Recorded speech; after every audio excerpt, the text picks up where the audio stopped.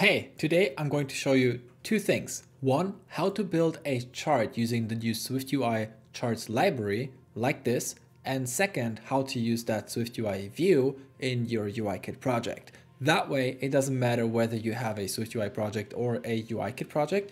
This video is going to help you to build a chart and use it in your project. Let's get to it. The first thing I'm going to do is, is import SnapKit as a dependency because I am lazy when it comes to auto layout and SnapKit makes your life so much easier. Once we have this as a dependency, we use SnapKit here. All we need to do is in here, I like to create a function that sets up our view. So setup view. This is where we're gonna have our view that we add as a sub view. This is gonna be our SwiftUI view and lay it out. Uh, so just as a preparation here already, and then calling it setup view from the view load, did load uh, hook. All right, let's create a new file, new file here and call it, let's say savings history. Savings history because we want to save money. We want to see it on a chart if we are saving properly and how much that is. We're going to implement uh, import SwiftUI and the charts library and also foundation because we're dealing with dates.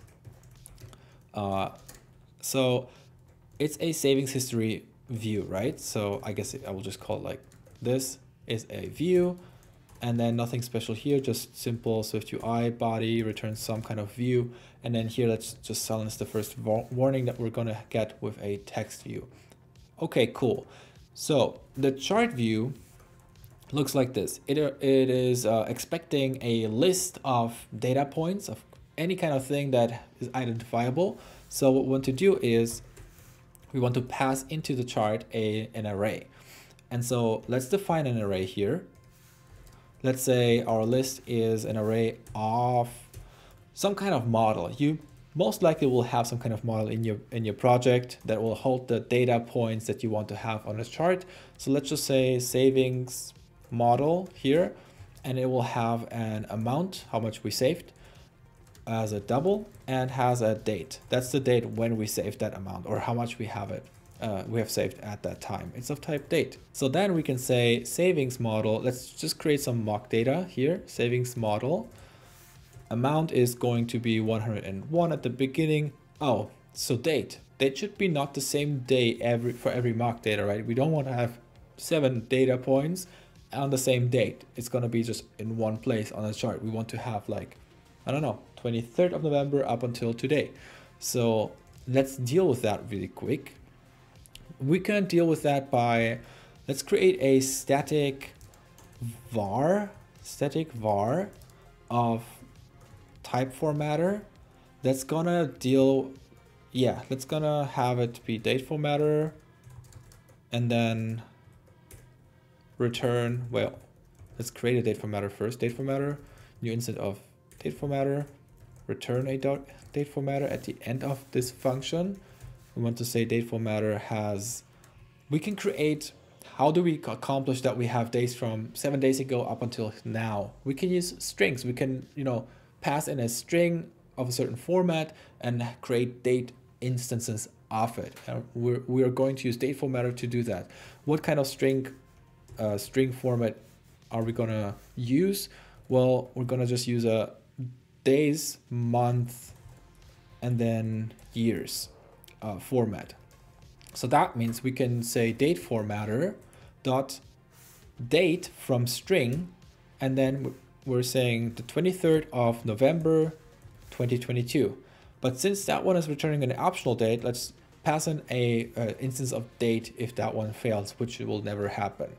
Uh, but just to silence the optional warning and we don't have to force unwrap. You can deal deal with it differently.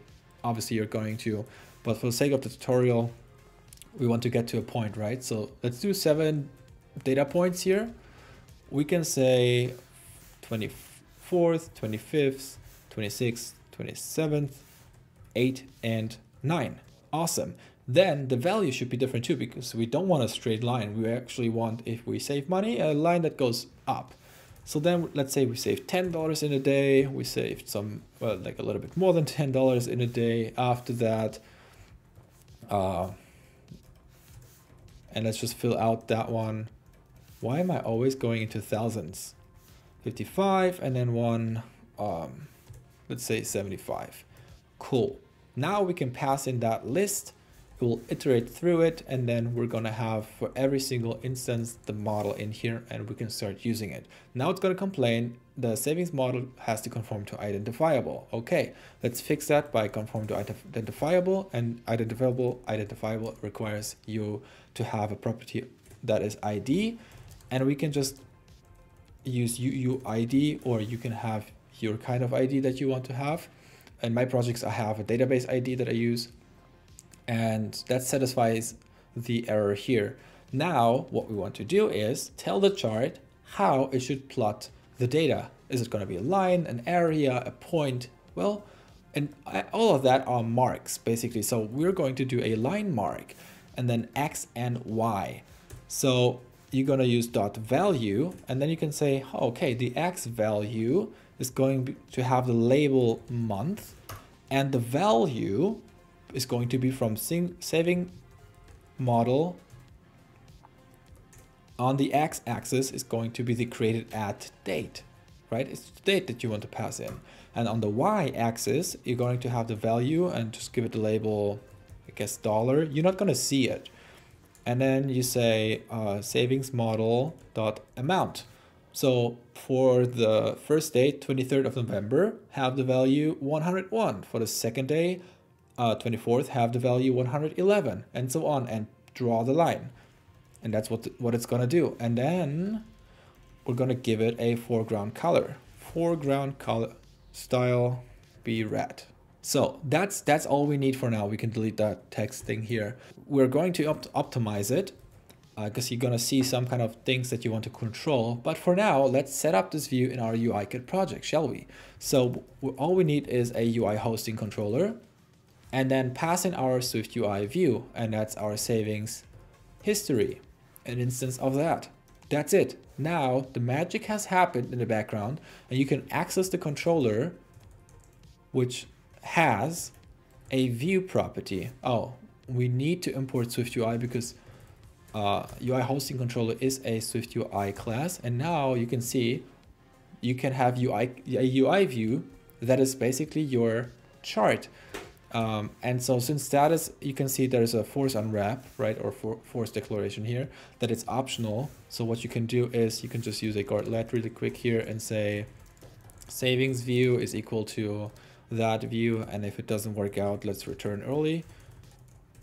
And now you're not dealing with optional down here anymore and say, say savings view. Cool. It's a UI view. I mean, UIKit land. That's all I wanted. So let's add it as a UI, as a sub view is our savings view and then lay it out. So savings view, how do I, where do I want to position it? I'm going to use oh, SnapKit. So let's import that really quick. Import SnapKit. Cool. Uh, let's do snap, make constraints, and then I'm going to center it on the y-axis equal to its super view of this controller's view basically. And then I'm going to say leading is going to be equal to super view, but within a little bit of an offset of 15.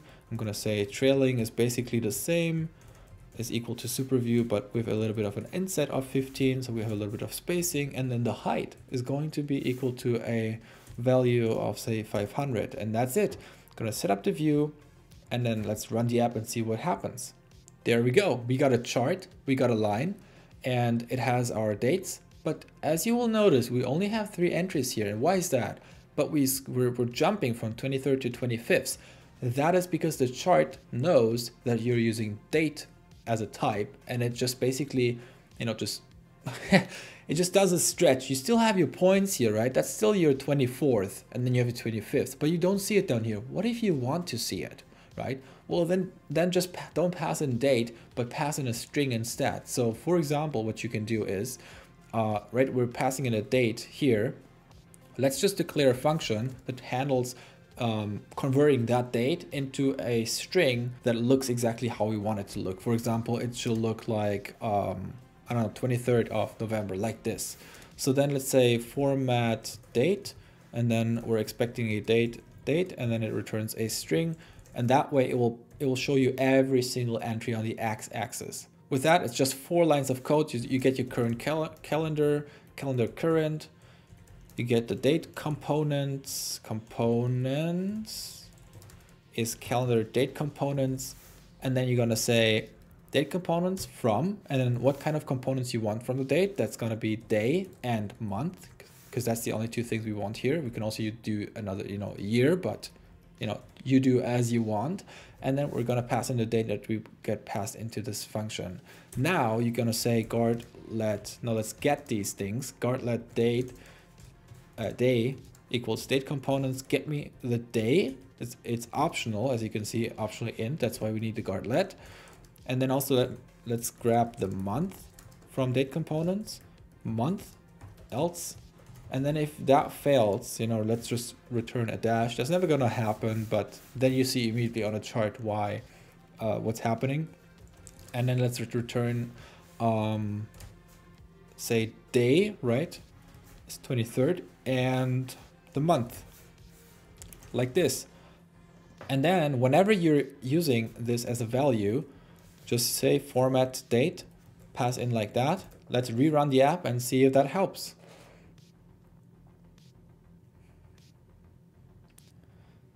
Awesome. Now we see 23rd, 24th, 25th, and we see every single value on the x-axis.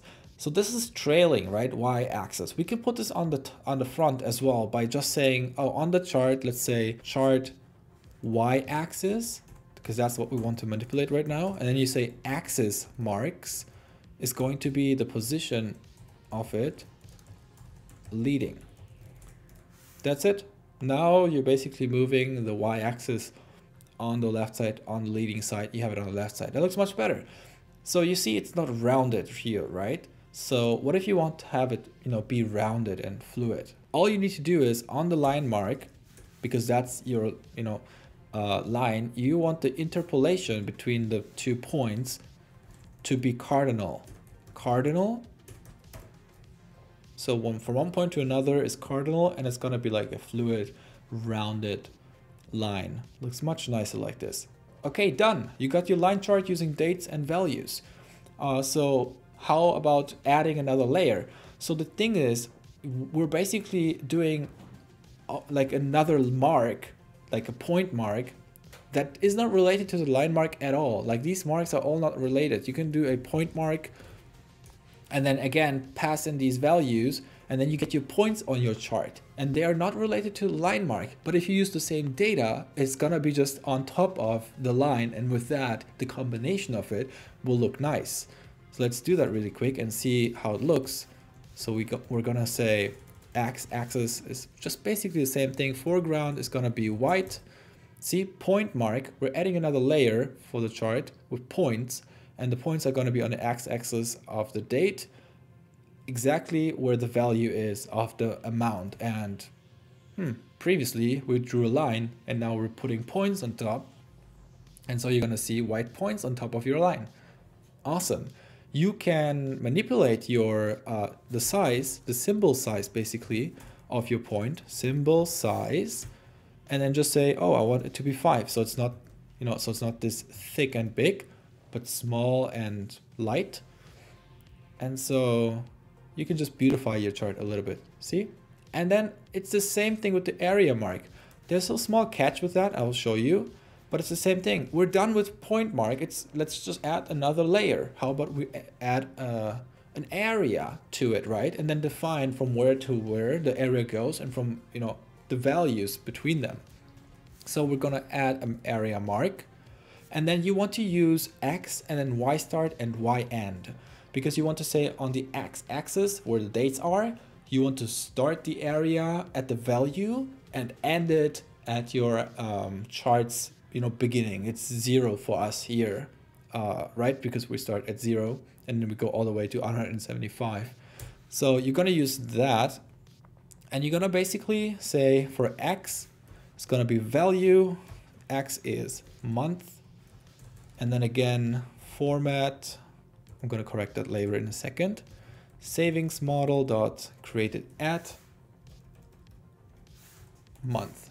And then y start it's going to be value and then you're going to say uh, dollar that's your it starts from top and goes to bottom that's important so savings model dot amount Let's format it, whoops, so we can read it better. Like this.